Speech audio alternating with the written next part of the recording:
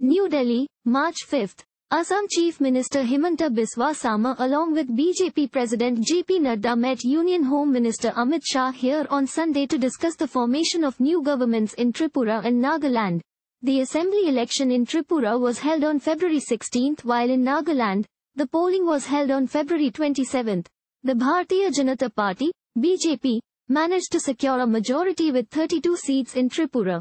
In Nagaland, it bagged 12 seats in Nagaland, while its ally, the Nationalist Democratic Progressive Party, got 25 seats. Sarma is also the convener of the BJP-led Northeast Democratic Alliance. According to a source, cabinet structure and government formation were discussed in the meeting. Although, caretaker Tripura Chief Minister, Manik Saha's name has been endorsed by the party high command, BJP rushed Sarma to Agartala as a section of MLAs has pushed the name of Union Minister Pratima Bhaumik as the new CM.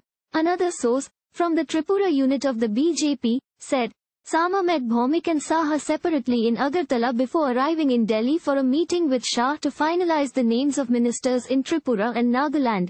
The result of the assembly elections held in Nagaland and Tripura, and another northeastern state Meghalaya, was announced on March 2. Thank you for watching. Please subscribe to channel and click on bell for more daily videos.